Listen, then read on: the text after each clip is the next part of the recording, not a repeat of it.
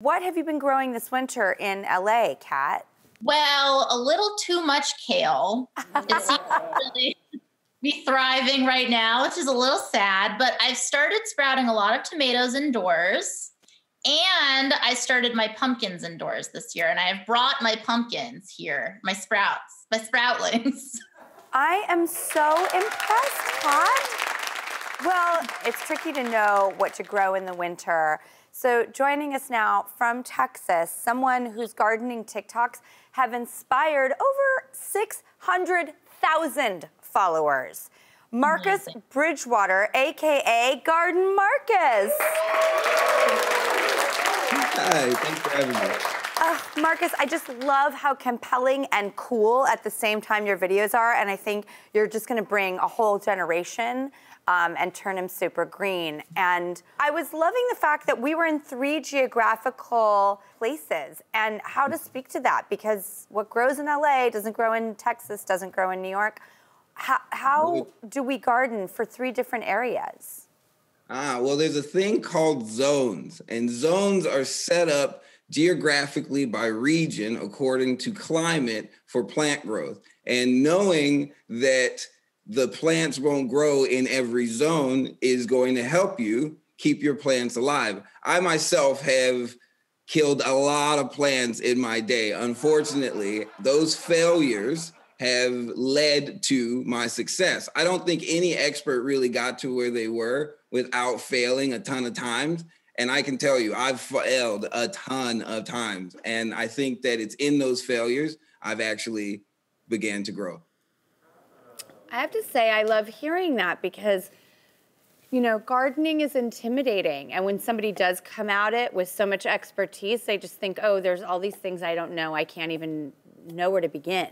I see that happening all the time. And I tell people, lesson versus barrier. Learn lessons instead of creating barriers. It's going to take you a long way. And the more lessons you learn, the more peace you have. Is this about gardening still, Marcus? Because I am feeling like that's a life lesson.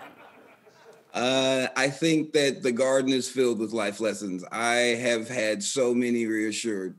Um, Kat, I mean, she's in LA. What do you think of what she's growing in her beautiful little boxes? Oh my gosh, they are so beautiful. So beautiful. These are called Cinderella pumpkins.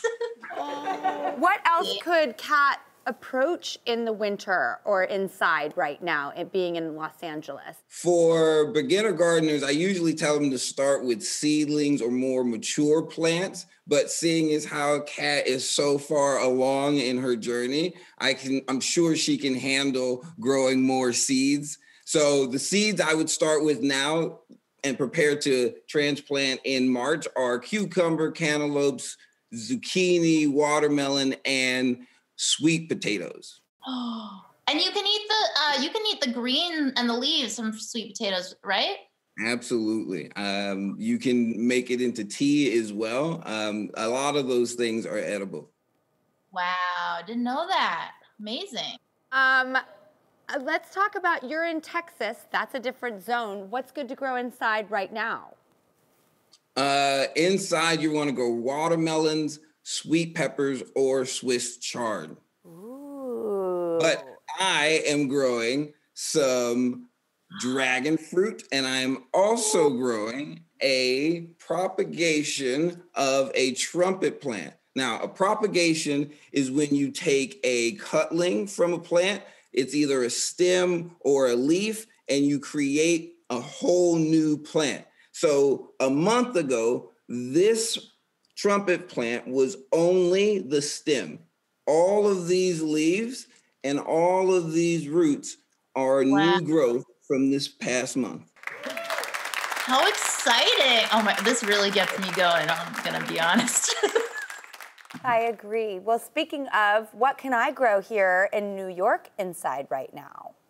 Well, in New York City, you can grow basil, cabbage, broccoli, and cauliflower. Mm-hmm. But don't worry if you're a beginner gardener and you're worried about seeds. You can go philodendron, snake plants, ZZ plants, and some of my favorite, pothos. You can grow those indoors year round. I love like how the leaves are heart shaped too. Okay, so basically, um, if you go to the drewbarrymoreshow.com, we're gonna have Marcus's list for the zones and what you can grow inside right now, considering that it's still winter. Marcus, will you come back in spring? And we can do a spring edition of this trio and talk about the Garden of Life. Oh, fantastic. Thank you. Awesome. That'd be fantastic. Oh, thank you, Marcus. I really do think that you're bringing accessibility and like straight up coolness as well as all of your incredible information to the gardening world and inspiring a whole new generation of people. And I thank you so much for doing that. And we'll see you in spring. Awesome. Thank you so much for having me. And I'll see you in spring. Thank you, Marcus, so much.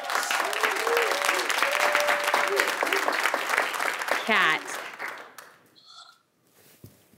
I mean, I can't wait to see you in the spring and just like be together in our separate gardens. um, okay, Kat Dennings, I just, we're gonna plan a, a future date. on this show in our gardens with our cats. It's all in process.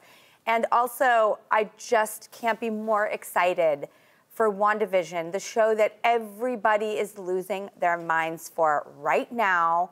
And you are at the center of being the conductor for all of us. And you're so special. And it's streaming right now on Disney Plus, obviously. And we'll be hanging on every episode as it comes out. And uh, I'll see you so soon.